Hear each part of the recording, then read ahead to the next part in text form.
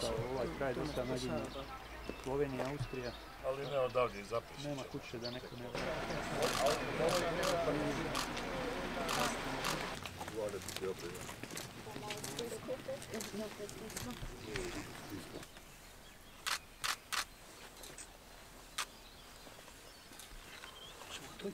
Evo, možete s one strane. Možete. Tako da okolo imamo. Dobar dan svima, poštovani sudionici ovog komemorativnog skupa.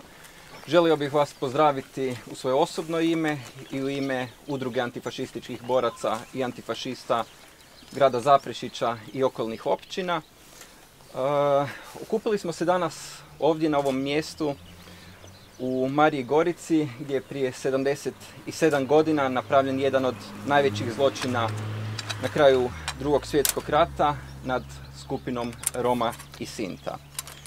Prije 77 godina na ovo mjesto došla artistička skupina Braće Winter koja je za vrijeme drugog svjetskog rata putovala Hrvatskom i Jugoslavijom bježeći od progona iz nacističke Njemačke i uspješno su se skrivali sve do kraja rata dok nisu došli u Mariju Goricu. U Mariji Gorici od 23. do 24. travnja održali su nekoliko predstava, no nažalost njihovo, njihov rad njihovu skupinu primijetila je grupa Ustaša, Luburićevaca, pripadnika prvog Ustaškog obrambenog zdruga, koja je bila smještena ovdje u školi u Mariji Gorici.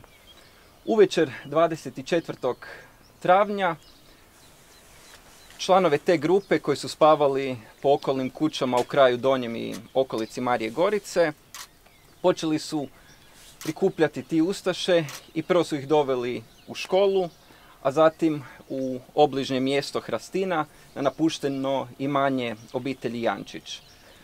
Tu večer dogodilo se mnogo zločina od silovanja, prebijanja, da bi cijela noć bila zapravo ispunjena ustaškim krvavim obračunom, silovanjima, klanjem, tako da je mjesto u Hrastini gdje se taj zločin dogodio na jednom obližnjem orahu je bilo krvi do visine 2 metra.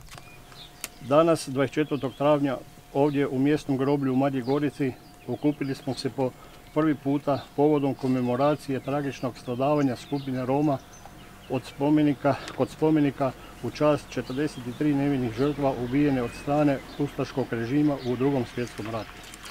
Danas tim ljudima odajemo počast, to je naša dužnost i obaveza.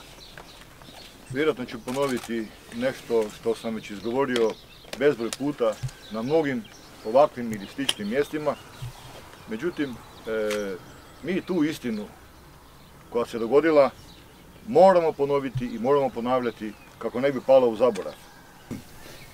Iako Romi unatrag više stotina godina, koliko žive na ovim prostorima, karakteriziraju segregaciju, siromaštvo i teške životne uvjeti, osnivanjem nezavisne države Hrvatske započeo njihovi najteži dani.